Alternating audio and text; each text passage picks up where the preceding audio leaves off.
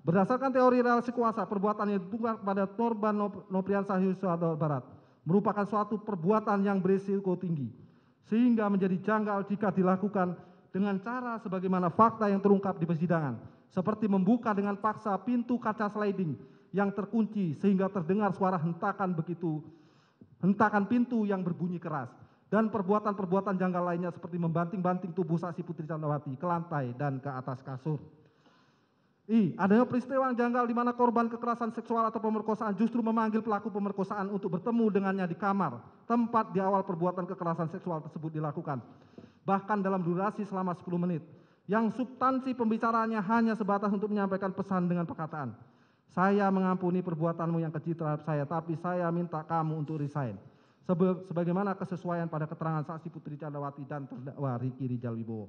J. Adanya peristiwa yang janggal di mana korban kekerasan seksual atau pemerintah justru dibiarkan pergi melakukan isolasi mandiri di tempat yang sama dengan pelaku kekerasan seksual yaitu di rumah Duren 3 tanpa memiliki rasa trauma dan ketakutan sebagaimana terjadi pada korban pemerkosaan pada umumnya adalah menunjukkan bahwa peristiwa kekerasan seksual hanyalah sebagai skenario yang dibuat untuk menutupi peristiwa yang sebenarnya. K. Tuduhan kekerasan seksual tidak didukung dengan alat bukti ilmiah seperti alat bukti visum et sebagai pendapat Profesor Dr. Muhammad Mustafa. Pada pokoknya menerangkan bahwa untuk membuktikan pemerkosaan harus ada bukti ilmiah, yaitu pemeriksaan forensik seperti jejak DNA. Jika tidak dilakukan maka susah melakukan pembuktian dan ahli selanjutnya mengatakan hasil psikologi forensik dapat digunakan namun harus dikuatkan oleh bukti lain. Tidak boleh hanya bertumpu pada satu saja.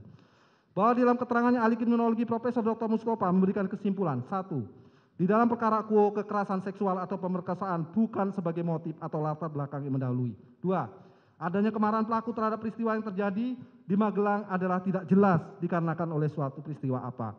Berdasarkan hasil pemeriksaan poligraf menerangkan bahwa jawaban Putri Candrawati mengatakan ia tidak berselingkuh dengan korban Nopriansa Yosua atau adalah berbohong dengan hasil pemeriksaan minus 25. N bahwa apabila kekerasan seksual atau pemerkosaan bukan sebagai peristiwa sebenarnya, maka menjadi petunjuk kuat bahwa peristiwa kekerasan seksual atau pemerkosaan merupakan bagian dari skenario yang dibuat oleh saksi Putri Candrawati untuk menutupi peristiwa yang sebenarnya terjadi.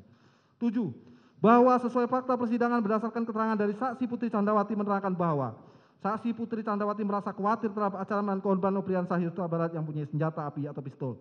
Sedangkan di rumah Magelang hanya ada dua RT saja, yaitu saksi Kuat Maklum dan saksi Susi. Sehingga menyebabkan saksi itu, saksi Putri Candrawati kemudian memutuskan untuk menghubungi terdakwa Riki Rijal Wibowo, namun ternyata tidak angkat, diangkat oleh terdakwa sehingga kemudian saksi Putri Candrawati menghubungi Richard Eliezer Pudang Lumio yang sedang pergi ke sekolah Taruna, Taruna Nusantara Magelang bersama dengan terdakwa Riki Rijal Wibowo dan meminta mereka agar segala, segera kembali ke rumah.